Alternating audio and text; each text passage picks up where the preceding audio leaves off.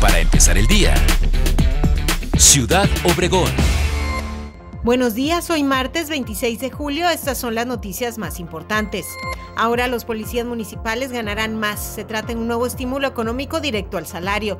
El 60% de los policías en Cajeme recibirán hasta 4 mil pesos más al mes, lo que podría generar en su sueldo 13 mil pesos mensuales.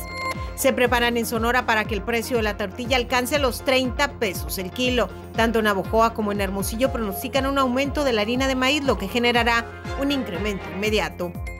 En un fin de semana multan a 30 motociclistas en Abojoa. Se trata de un operativo especial en donde se revisó licencia, casco y que no excedan el pasaje permitido en estas unidades encuentran un cuerpo sin vida dentro de una estructura de una pantalla publicitaria al norte de Ciudad Obregón.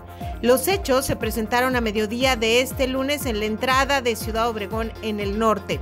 La persona encontrada sin vida es un adulto de 71 años de edad que se encontraba desaparecido desde el mes de noviembre del 2021. Usted ya es informado para empezar el día con Mega Noticias Sur de Sonora. Para empezar el día. Ciudad Obregón.